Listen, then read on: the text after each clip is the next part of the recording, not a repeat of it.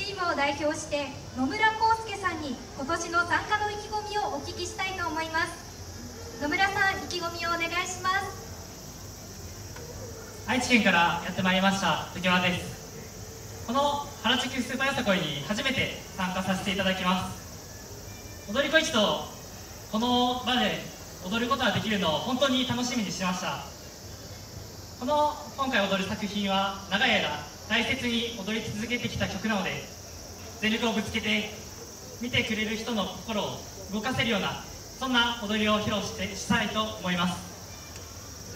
ありがとうございます。それでは準備をお願いします。